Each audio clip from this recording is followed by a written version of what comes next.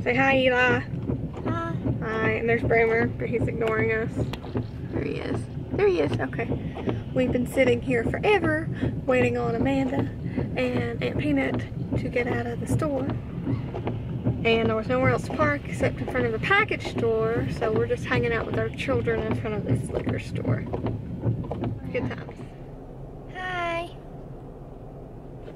Thank you. All you can see is my eyeballs and my red Rudolph nose.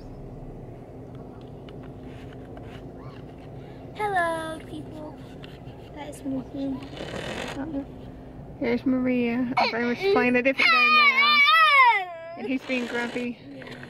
So now we're in front of You go away. Family Dollar. Waiting on the poopy poodle in the Family Dollar, but I wasn't about to get him out and take him in. Because this ain't my first rodeo. And I really think she's just in there to kill time. She got headbands with black bulbs. Yeah, I got some cool um, headbands with some Christmas light bulbs on them that light up. After shopping, me and my sister took the kids over to my brother's mother-in-law's house. Yeah, something like that.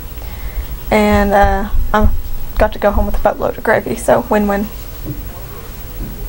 I'm just here for the cake.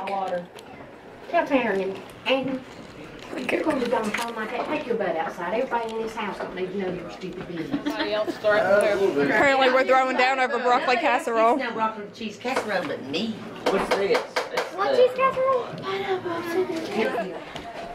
Listen, if your mama says you would with it, that, buddy. she's There you gonna... go. Come on. Alright, Let's get in the high chair. I'll take a picture of high you, chair. her, her, her. Oh,